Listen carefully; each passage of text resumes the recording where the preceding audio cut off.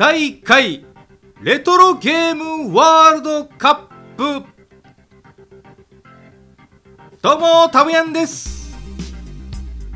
いやー子供の頃からゲーム三昧。そして大人になってレトロゲームの動画を6000本以上配信したこの私が勝手に創設したいと思います。レトロゲームワールドカップ。今回はその大会説明をしたいと思います。えー、第1回ということでえー、レギュレーション等々も考えてやっていきたいと思います。えー、この32チームならず、えー、32ゲーム視聴者の皆さんと、えー、意見を聞きながら、えー、独自に今回は選定いたしました。まあプレー大会というか第1回大会ですので、えー、この32ゲームは予選免除。本大会からスタートしたいと思います。もうすでに何のことやらという ことなんですけども、えー、サッカーロシアワールドカップが開催されるこの季節、えー、ロシアワールドカップの合間にね、えー、ゲームをしようという、えー、企画でございます。まあそんなに硬くならずに のびのびとやっていきたいと思います。えー、基本的にはえー、ロシアワールドカップが開催されるんですけど、まあ、日本時間で言うと深夜なんですよね。で、えー、毎日グループリーグは3試合開催されますが、まあ、1試合目終了後日本時間でいうと23時から24時。それから2試合目終了後日本時間深夜の2時から3時、えー、この合間の時間に、えー、ライブ配信で、えー、ゲームをしようと思っております。そのゲームのラインナップがこちらの32ゲームということで、えー、やっていきたいと思います。そして、えー、せっかくねプレイするんですからワールドカップ方式でこの32ゲームを、えー、4つのグループに分けまして、えー、各グループ8ゲームで、えー、配信を行いそして、えー、視聴ご視聴回数がね多い上位1ゲームを決勝リーグとして あの決勝リーグ進出としましてさらにえー、最後にねその決勝リーグ進出した4ゲームを深く掘り下げてプレーをし直しまして第1回レトロゲームワールドカップ、えー、その決勝リーグでの優勝ゲームを決めたいと思っております。もうここまで来て何のことやらっていうことなんだけど。えー、まあね皆さんは毎回のライブ配信を、えー、お楽しみいただければと思います。まあライブで見れないそんな深夜に見ないという方も、えー、録画のバージョンで、えー、よかったら、えー、見ていただければと思います。さあそれでは今回は大会説明ということでもう概要は今説明したんですけど、えー、各グループの紹介と、えー、レギュレーションをねもう一度おさらいしたいと思います。さあ、えー、ジャンル別にね大体グループ分けしてみました。グループ A に入ったのはこの8本。珠玉の8本ではないでしょうか、えちなみにこの32ゲームの、えー、選定条件、えー、私がねこの動画6000本の中で配信したことのある、えー、ゲーム実況をしたことがある、え、ゲームというのが条件ですね。したがって私はプレイしたことがあるので、えー、初見プレイではないという条件がついております。まあ第1回のレトロゲームワールドカップゆるい条件でございます。えー、ゲップマデンコナミさんのゲップマデンそれから高橋名人の冒険島。いやこのゲーム後半から難しくなるんだよね、それからドラゴンスレイヤー。あちなみにね大切なことをもう一つ言い忘れてましたが、えー、先ほどのスケジュールなので各ゲームきっちり1時間以内ということになります。なので、えー、生配信なのでいかにこのね、えー、決勝リーグに進むための 皆さんからのね評価をご視聴回数を得るためにはいかにこう面白くプレイするかということになりますがまあ各ゲームね、えー、最大限の、えー、企画をできるだけ準備して 面白くするためのね、えー、プレイをしたいと思います。できるかな？皆さんからまあヘビーユーザーの皆さんもねあの構成作家になったつもりで私にどしどしアイディアを、えー、コメントいただければと思っております。さあ紹介続きしていきましょう。ドラゴンスレイヤー4こちらあのえー、定期配信してたんですけどもあまりに難しくてね一旦、配信がストップしているというゲームでございます。まああの生配信だとねアドバイスもらいながらできると思うので我こそはという方はね私にアドバイスしに見に来てください。それからえー、魔界島7つの島大冒険。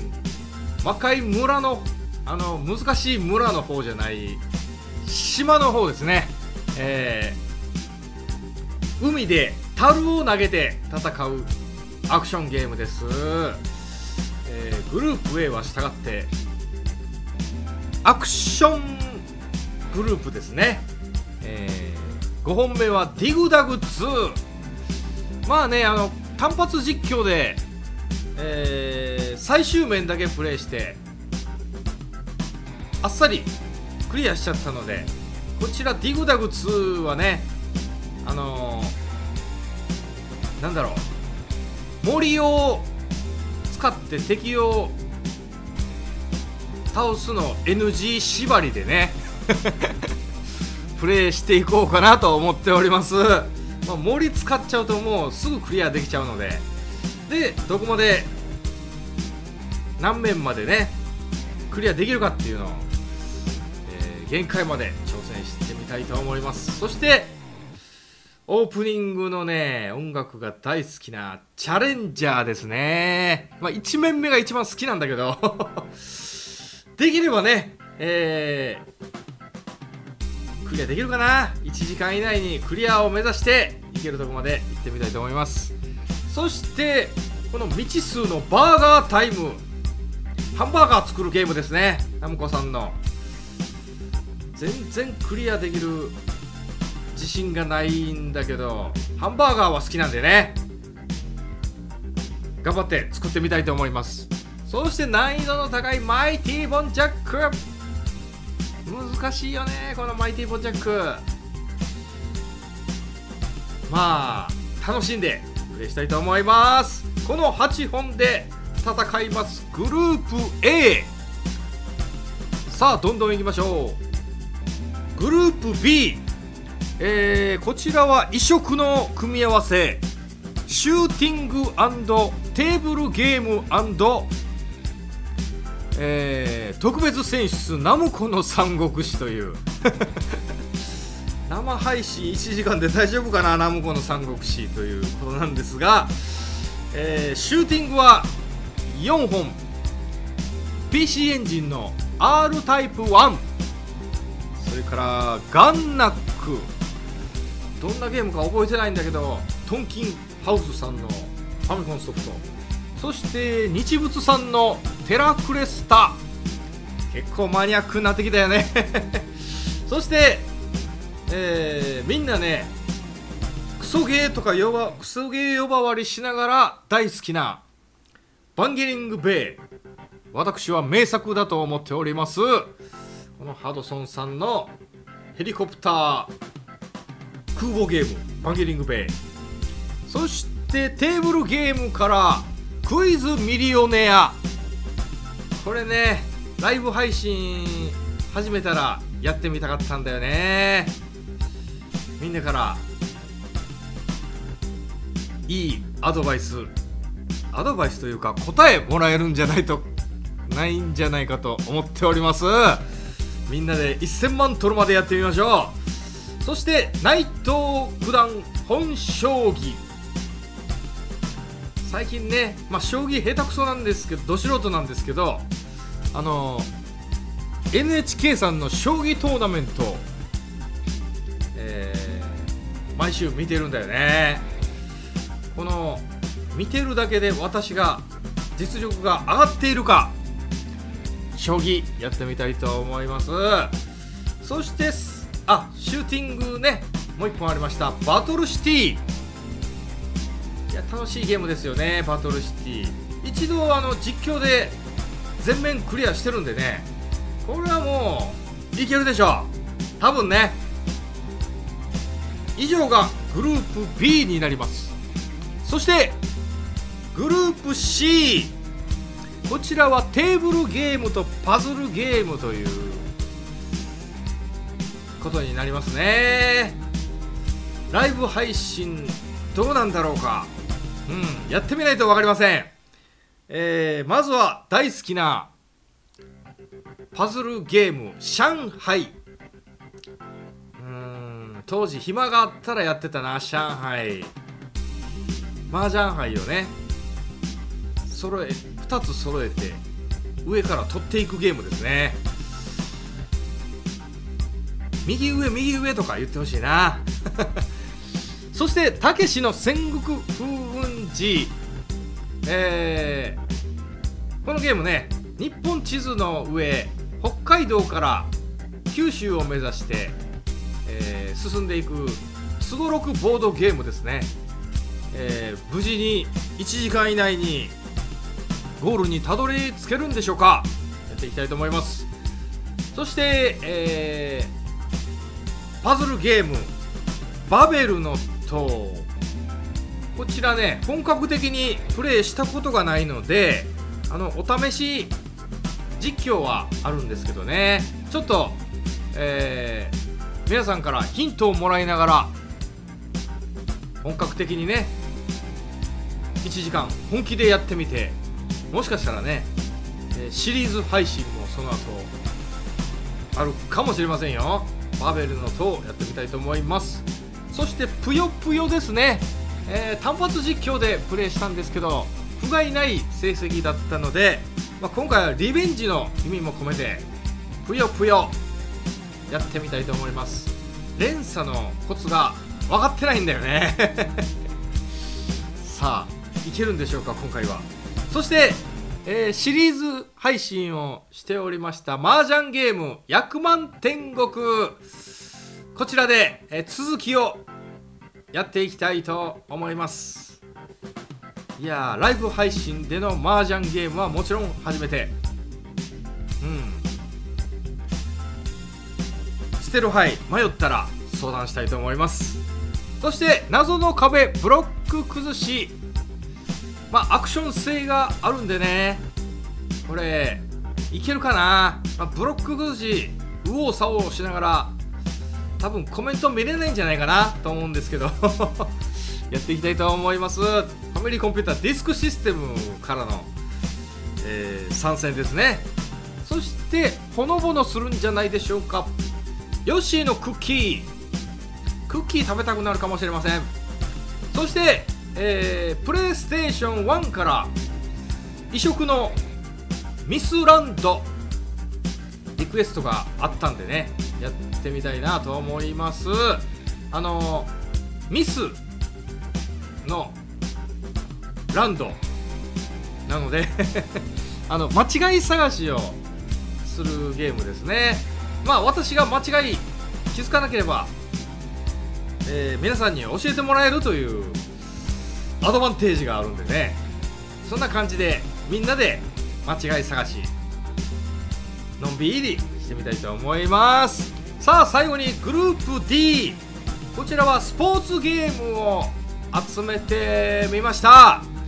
まずは、えー皆様からの要望が強いキャプテン翼シリーズからキャプテン翼3で、えオールスターゲームをやってみたいと思います。どんなだったかな？ちょっと忘れてるんだけどね。グレートスーパーゴールキーパー。この人も出てくるんでしょうか？そして、えースーパーファミスタいや最近ファミスタ数ヶ月やってないんでね。このスーパーファミコンのファミスタシリーズ第1弾スーパーファミスタ。このゲームねやり始めたのがちょうど実況をスタートした時なんだよね。そういう意味でねあのーもう一度スーパーファミスタをプレイしてみたいと思います。この後ねスーパーファミスタ1から5までプレイしてさらに、えーワールドスタジアムというプレイステーション1のファミスタシリーズも1から5までプレイして。うんそうだね。この後150試合以上はやってるよね。うまくなってるんでしょうか？スーパーファミスタ久しぶりにやってみたいと思います。そして熱血高校国尾くんシリーズから、え2本もノミネート。熱血高校ドッジボール部。みんな国尾が好きなんだよね。リクエストいただきました。そしてダウンタウン熱血行進曲それゆけ大運動会。この2本ではちゃめちゃ運動会やってみたいと思います。それからウイニングイレブン2010シリーズ、えーライブ配信で各グループリーグを、えー戦ったんですけどもその続きですね、えー決勝トーナメントの戦い、えーアルゼンチン、コスタリカ、スウェーデンと決勝トーナメント進出しました。そして昨日ねイングランドも決勝進出。そして日本、えー今夜ね戦う予定です。このラジオを撮る前に、えーもう日本決勝進出のつもりで 旗印掲げましたがもしかしたらグループ予選敗退してるかもしれません。一体どうなったんでしょうか？ということで以上グループ A からグループ D のゲーム以上になります。もう一度ルールを説明しておきましょう。この各 A から D のグループご視聴回数1位が決勝リーグ進出ということで。まあ最初に配信した方が有利ですけど。第1回大会はねそんな細かいことは気にせずに、えーある時点で区切ってね、えー人気のある、えーゲームを上位進出としたいと思います。